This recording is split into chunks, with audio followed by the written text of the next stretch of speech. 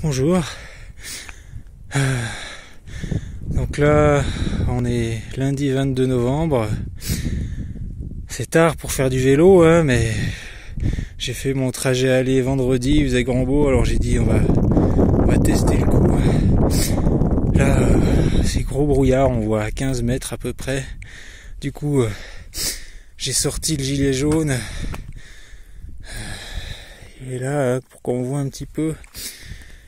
Mais à part ça, ça va bien. Il doit faire à peu près 5 degrés. Alors euh, c'était mon test par grand froid. Est-ce que ça joue toujours le vélo? Vous voyez que depuis que j'ai commencé, je viens de passer les 1000 km. C'est trop bien. Bon, c'est sans doute mon dernier trajet avant l'année prochaine, hein, parce que aujourd'hui il n'y a pas de neige et puis il pleut pas, mais quand il fera vraiment froid et puis que ça risquera de geler, là, je pense que je vais revenir à la voiture jusqu'au printemps.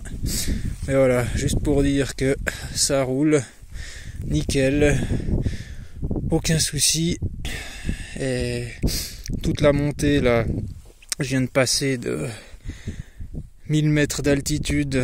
Là, je suis arrivé au sommet du col, 1250 mètres, et maintenant ça va être de la descente, donc je vais bien me rhabiller quand on monte comme ça, qu'il fait froid, faut pas hésiter à s'arrêter, à enlever des couches, pas trop transpirer et redescendre un peu plus tard.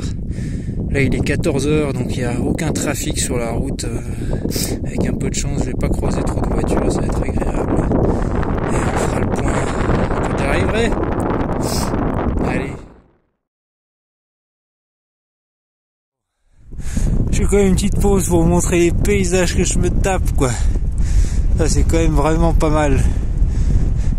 Bon au niveau soleil on se croirait un peu en Normandie mais ah je rigole. Donc ça va pour l'instant. Un peu froid au gros orteil droit mais sinon ça va. Allez c'est reparti.